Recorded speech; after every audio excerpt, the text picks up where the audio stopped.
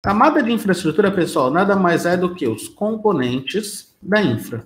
Como assim? Servidores, roteadores, switch, firewall, link de internet. Esses são os componentes da infraestrutura. Podemos colocar aqui banco de dados, podemos colocar aqui aplicações. Como assim aplicações, Robert? IS, IS, AD, PHCP. Não vou restringir só para o S, vamos restringir para um servidor web. A gente pode ter Nginx, IS, Apache.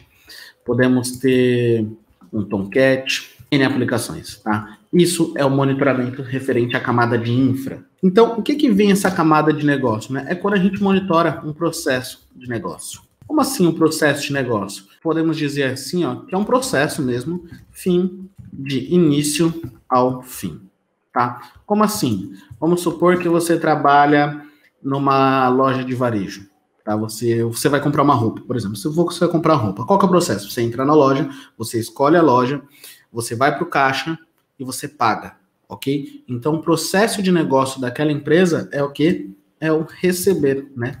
Receber, não, vamos colocar aqui é o ponto de venda, que é conhecido como PDV. O que, que é necessário para o PDV finalizar? Ele precisa, por exemplo, de leitor, de código de barra, ele precisa de impressora para imprimir a sua nota fiscal, o seu cupom fiscal, ele precisa de conectividade com quem? Com TEF, com aplicação, e assim por diante. Então, observem, aqui ó, no processo fim a fim, nós temos um ponto de venda, que é onde a gente vai fazer a venda de um produto, e aqui nós temos o que esse produto precisa para funcionar. Leitor de código de barra, impressora, conectividade, com TEF, com aplicação ou qualquer outra coisa que faça funcionar. Então, isso é os hábitos na camada de negócio. Para resumir, é quando você consegue fazer o seguinte: quando você consegue identificar qual componente da infraestrutura de TI está